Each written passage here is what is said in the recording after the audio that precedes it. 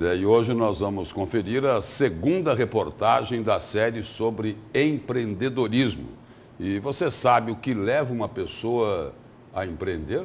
A gente tem a resposta, Lúcio. Geralmente, as pessoas empreendem por dois motivos principais. Ou é por necessidade, é claro, ou também por uma oportunidade. É o que vamos conferir na reportagem de Antônio Carlos Silva.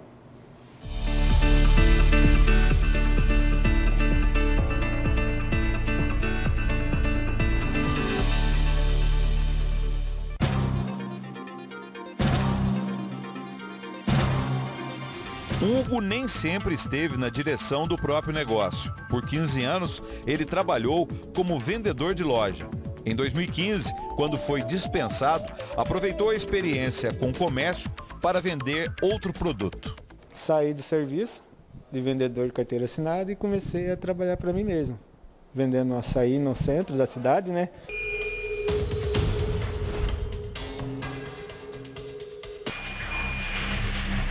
Aí veio a pandemia da Covid e o Hugo mudou de ramo mais uma vez. Fechou todo o comércio no geral, aí eu tive que dar outro jeito, né? Aí eu comecei a trabalhar de aplicativo também de motorista. Éder trabalhou por 14 anos como representante comercial de indústrias de alimentos. Quando ele chegou ao topo da carreira em Mato Grosso, começou a ter perdas financeiras empresa começaram a ver que você está ganhando muito, eles diminuíram o salário, pode tipo assim, diminuir a comissão sua, e você tinha que correr atrás para poder manter o que você tinha antes. Ou então, ele dividia a praça sua e colocava outro vendedor. Por isso, ele decidiu abrir a própria mercearia em 2016. No mesmo ano, Ligiane começou a vender roupas seminovas em casa. Eu tinha um bom emprego, e eu tinha me divorciado e tinha duas crianças pequenas e eu senti uma, me sentia uma mãe muito ausente. E aí eu comecei a vender umas roupas minhas, que eu tinha muita roupa, e surgiu a demanda das minhas clientes, que eu tinha uma, uma rede de cliente muito grande, elas falarem, tem outro tamanho, tem outro tamanho, e eu vi ali, eu sempre fui muito esperta para essas coisas, e eu vi ali uma oportunidade de um negócio novo. Éder, Ligiane e Hugo têm algo em comum eles se tornaram empreendedores por necessidade.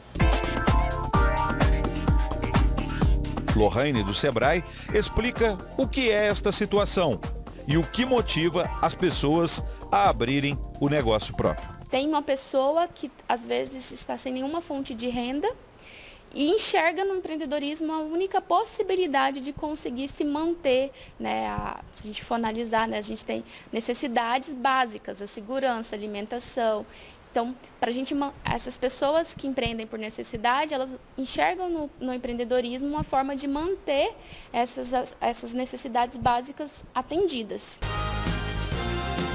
Tayane até montou o próprio salão de beleza em 2011, mas desde 2019 ela decidiu se especializar como extensionista de cílios postiços ao perceber uma oportunidade no mercado de trabalho. Foi a oportunidade né, que o Cílios trouxe. Ele começou a expandir aqui em Cuiabá tem o quê? Uns três anos mais ou menos.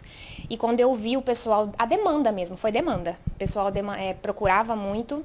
E aí eu falei, vou me especializar nisso, vou fazer mais cursos e ver se realmente eu vou gostar. E cada dia mais eu fui gostando. gostando.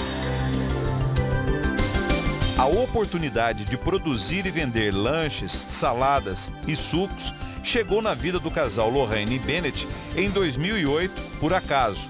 Antes, ela só preparava o lanche do marido para garantir a nutrição dele. Fazer aquela dietinha, todo mundo, o pessoal que faz academia gosta, né? Aí eu comecei a fazer as marmitinhas para ele levar para o serviço, né? Certinho para comer de, quatro, de três em três horas. E os colegas acharam interessante e falaram, por que, que você não vende, né? E eu comecei. Dentro da empresa onde eu trabalhava, comecei a vender o negócio começou a fluir. Com o tempo, o que era apenas uma ajuda na renda familiar se tornou o principal negócio do casal. Hoje nós estamos aqui fazendo lanche, salada de frutas, salada de pote, sucos. A gente está bem, bem feliz com esse, com esse caminhamento.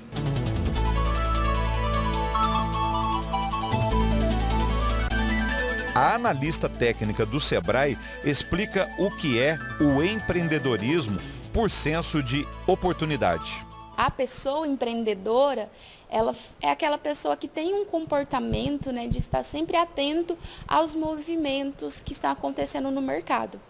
Observando as necessidades que as pessoas têm e a partir desse olhar eu até brinco, né?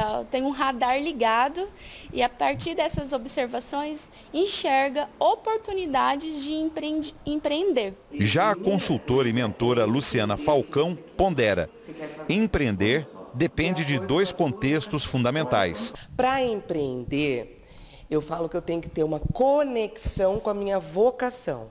Aquilo que dá, me dá vontade de entrar em ação todos os dias. O empreendedor, ele é autônomo, na maioria das vezes. Ah, quer dizer que empreender não pode estar num, numa empresa, assim, a pessoa não pode ser um funcionário público? Pode. Mas a grande maioria do empreendedor, ele é autônomo. Então, ele é dono de si dono do seu negócio. Então, todos os dias, ele vai abrir o negócio, ele vai fechar o negócio, ele vai iniciar o negócio e ele vai finalizar o negócio. E não tem hora para finalizar.